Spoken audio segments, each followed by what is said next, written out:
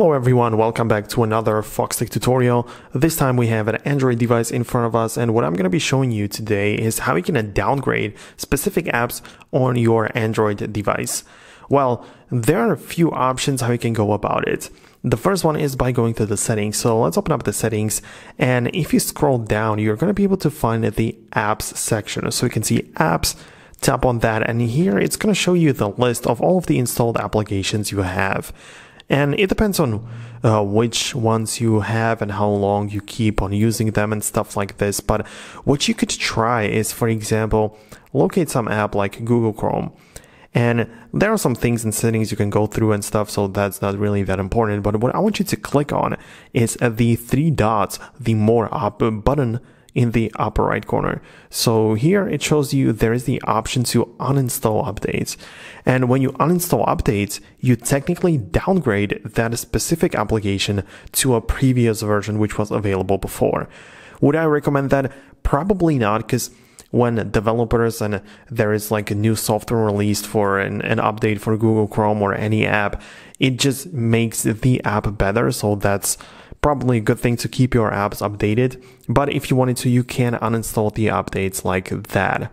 By the way, guys, make sure to join my 100% free education platform. I just finished the Rush course video editing. You can go ahead and check it out in the classroom section. 100% free. Go ahead and check it out. No interruptions. Link is going to be down below in the description. Or this was just the first version. The second way of uninstalling updates or downgrading a specific app is to download a previous version but using the APK file. You cannot really get it to work using the Play Store because if you go to the Play Store, you cannot really find the earlier versions. You can only download the latest one.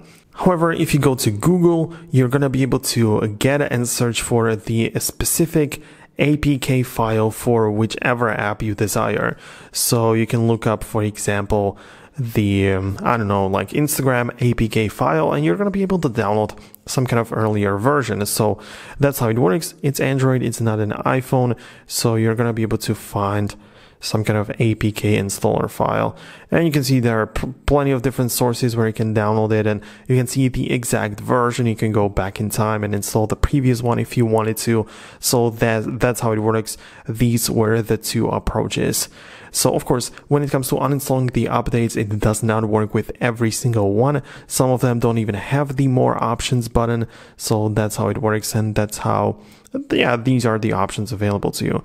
So thank you so much for watching. I hope you found this video useful. For more tutorials and videos like this one, make sure to hit the thumbs up and also subscribe down below so you don't miss future videos like this one. Thank you so much for watching. We'll uh, see you guys in the, in the next video. Peace out until then.